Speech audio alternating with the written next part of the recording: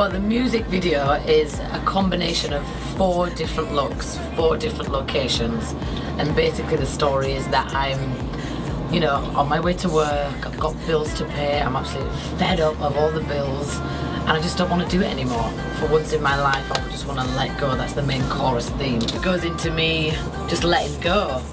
I, I, cutting my hair off, morphing into something else, joining a party, and then we've got a bit of scary spice at the end, which is the last scene I'm shooting right now.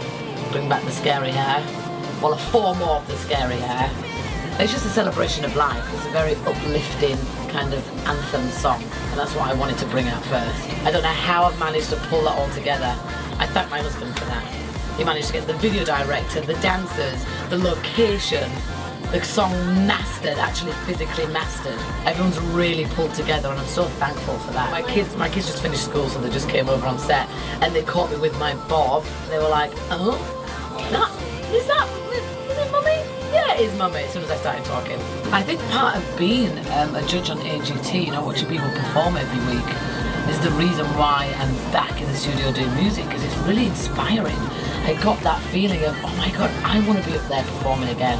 And there's no point doing music until you've got that passion, that fire in your belly.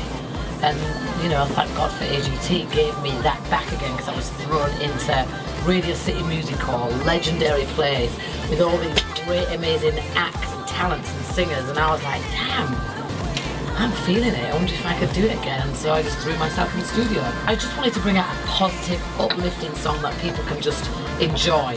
No matter who you are, where you are, what mood you're in, it'll just put a big smile on your face.